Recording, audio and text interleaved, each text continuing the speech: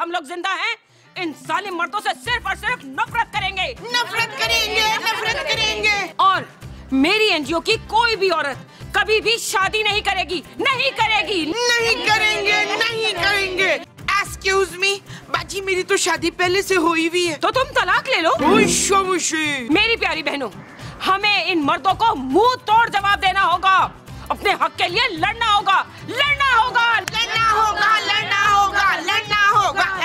Excuse me बाजी मेरी बहू तो पहले ही बड़ी लड़ाकी है। माँ जी क्या कह रही हैं आप ये? और कोई नहीं पुत्र तेरा टैलेंट है लोगों के सामने आना चाहिए। और मेरी प्यारी और मजलूम बहनों हमें इन मर्दों को बताना होगा कि हम इन लोगों से किसी चीज़ में भी कम नहीं है। इनकलाब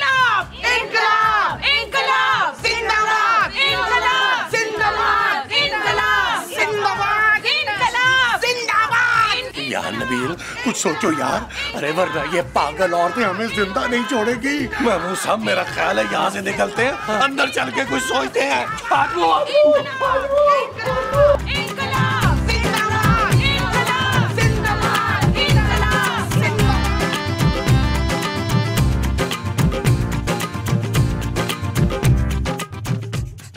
ओ यार मैं मुँह साहब आप अपना मुँह किसी कोने में करें यार। मुझे डिस्टर्ब कर रहे हैं आप। अरे मेरे मुँह को छोड़ो यार नबील कुछ सोचो वरना हम मुसीबत में पड़ जाएँगे। आ गया मैं मुँह साहब। गया?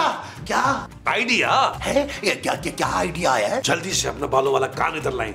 आपको बिशारत आंटी को सेट करना होगा। अरे वो तो पहले ही बहुत सेट है। महमूद साहब से ज़ोर बंद बंद करें यार। मेरी बात गौर से सुने मेरा प्लान सुने। आपको बिशारत आंटी को अपनी मुट्ठी में करना होगा। आपको उनको जाकर कहना होगा कि आपको उनसे मोहब्बत हो गई है। अरे कैसी बातें कर रहे हो यार नबील? उस मर्द नुमा औरत से कौन मोहब्बत का इजहार करे?